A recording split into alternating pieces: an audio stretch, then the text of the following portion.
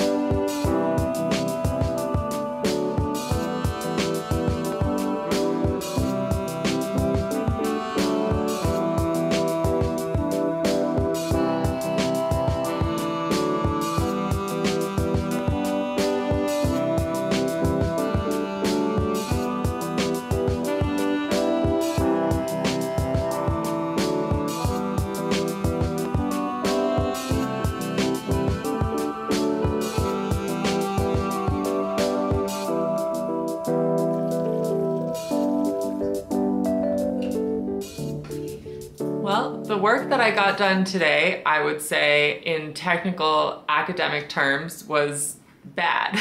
I had taken all of last week off for holidays, and so I was really trying to get back into the mindset of a person who writes and has ideas that make sense. Um, and it didn't go smoothly, I would say.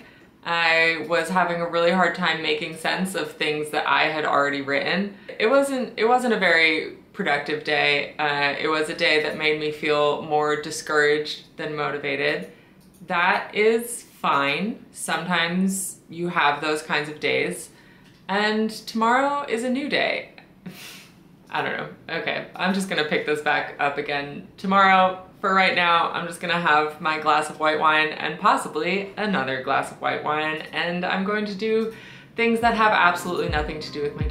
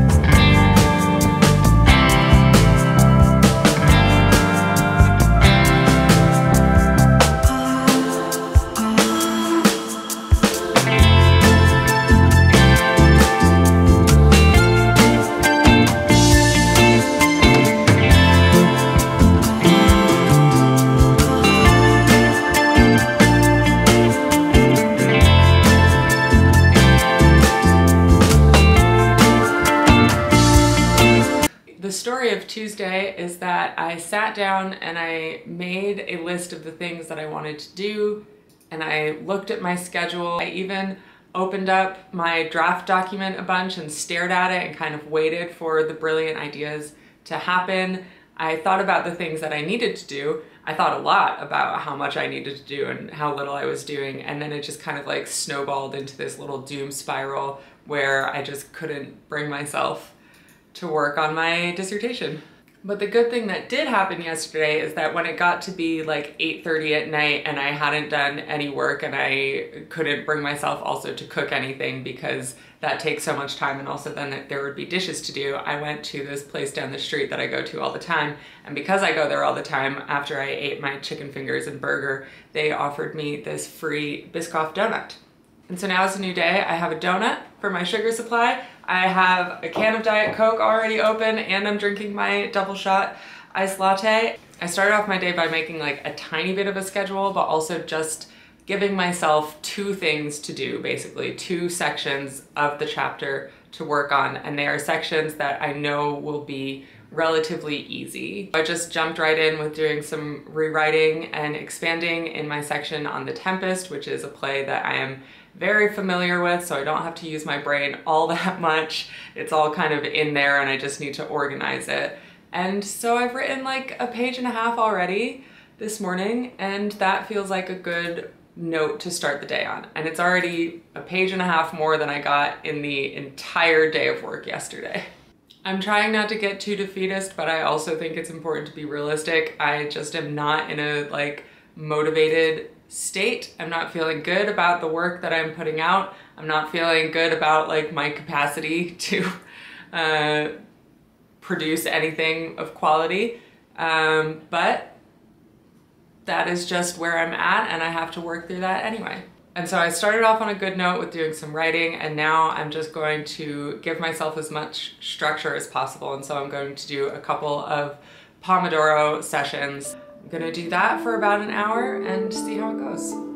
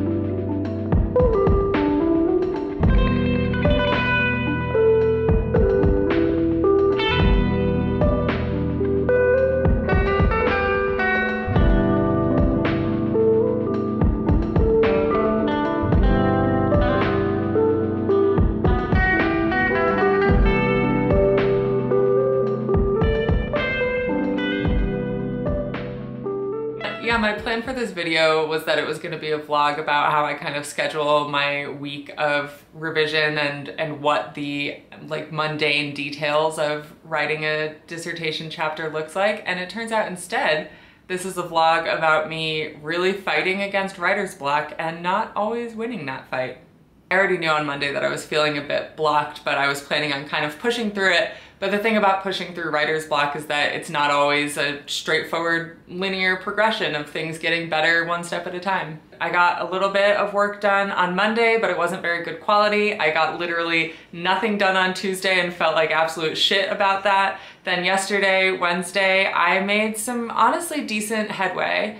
And now Thursday, we'll see what happens. But as I am kind of trying to push through this writer's block, there are three kind of go-to strategies that I am using that are working. Not 100% of the time, but for the most part. The first one and kind of the biggest one is that I just sit down to work when I was planning on working, no matter what. And that doesn't always mean that work gets done. It certainly doesn't always mean that good work gets done. Tuesday, I just completely couldn't do it.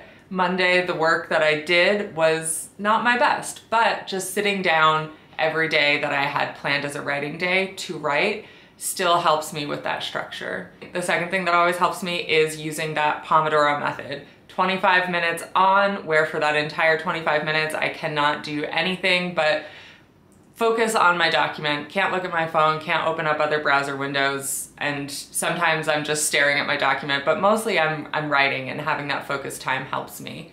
25 minutes on of that and then 10 minutes off to do something else. And another thing that's been working these past couple days is you can kind of see behind me that I have a split screen up on my monitor with two different Word documents open. And so I have my whole big 30 page rough draft document open on one side, but then on the other side, I have a document where I am actually like retyping and making edits and fucking around with that document, excuse me, messing around with that document gotta be more professional. And that helps me for a couple reasons. Number one is that I'm not actually making changes in the document. Everything is still there if I wanna go back and revert to the way it was.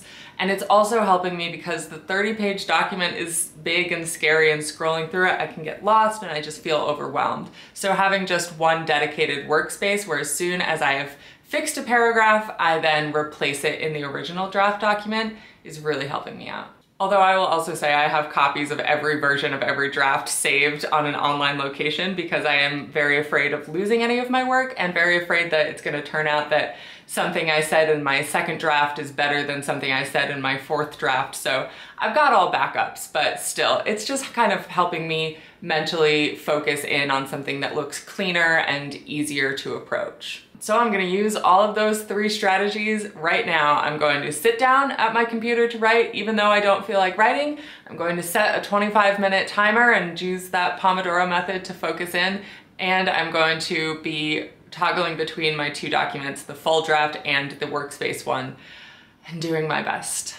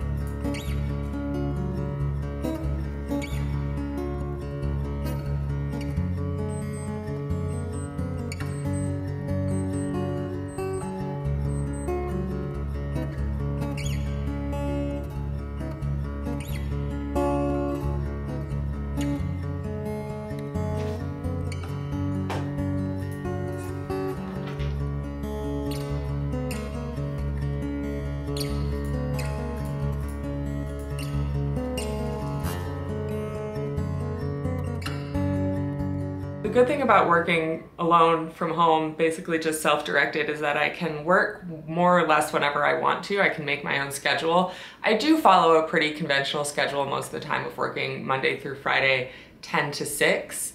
But sometimes if, for example, I go out for dinner on Thursday night and then end up having a few cocktails and because I'm almost 30, having multiple kinds of liquor and sugar in my body gives me a horrible headache the next day, I can decide to take Friday as a day off and instead work on Saturday. So now it's Saturday and I'm gonna do a work day. I wanted to be like a productivity vlogger, like academic structure and stuff, but I don't have structure and I'm not productive. So this is just this is just what being a PhD candidate looks like sometimes.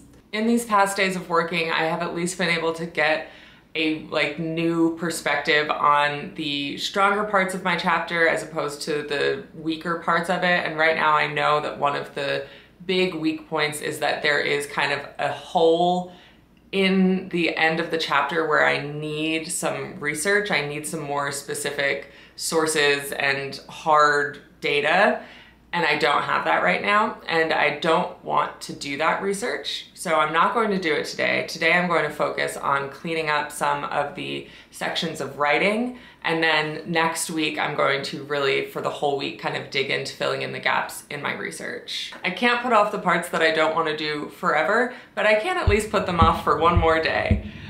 Okay.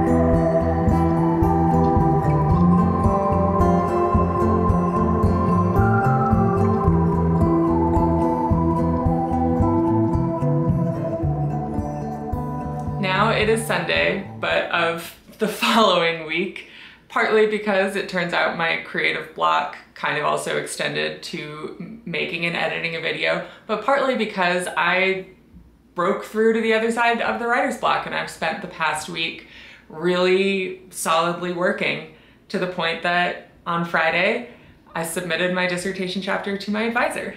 And the whole week of work that I documented in this video was pretty touch and go. It was not all smooth sailing. It was not all super productive, but that is just kind of part of the process. It's a necessary stage to go through, I think. I needed to use all of those writing strategies. I needed to sit down to work even when I didn't really feel like it. I needed to use the Pomodoro to give myself structure. I needed to use my blank editing document as a way to kind of like clear my mind and focus in on an individual part of the chapter at a time. I, I don't think I could have broken through the writer's block without kind of going through that messy work week of just desperately trying to stick to those strategies and working through it the best I could. But ultimately what really broke me through my writer's block in the most satisfying way was that this past week, early in the week, I just went to a cafe where I had basically no Wi-Fi and I just sat down and worked for like four hours. Maybe I could have just jumped straight to the sitting down at a cafe and locking myself in with my thoughts, but I don't know. I sometimes think that I need that rough work week of just kind of like struggling through in order to get to the point where I'm capable of breaking through the writer's block.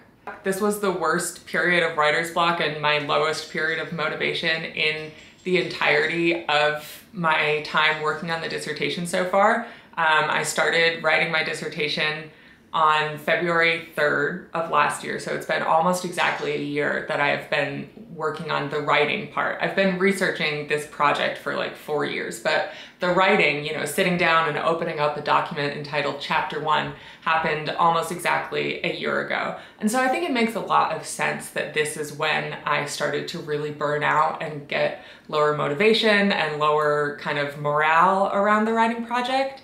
And it's just important, I think, to acknowledge that those things happen in a long-term writing project and that it's okay and it's unavoidable and it's just what you have to work through. During that whole week that I was documenting, I did feel pretty bad about my writing and I think it's good to just kind of lean into that. You know, you saw me in this video saying that my morale was low and that I didn't really like the writing that I was doing.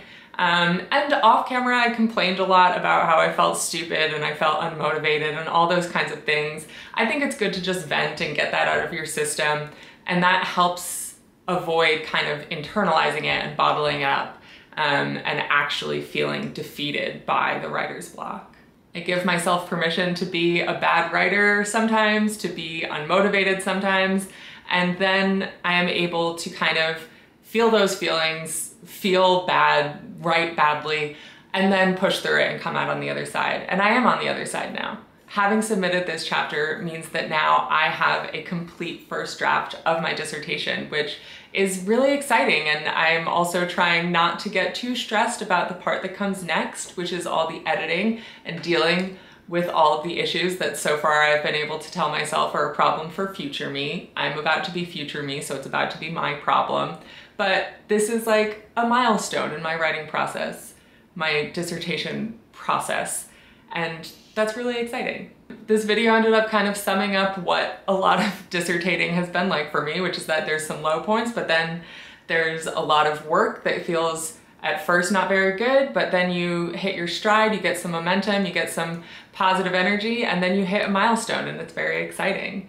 This was the worst writer's block I've had, but it's not the first time, and I know that it won't be the last, so please let me know in the comments what your strategies are for overcoming writer's block, because it's inevitable that it'll happen again, but when it does happen, I'll get through it.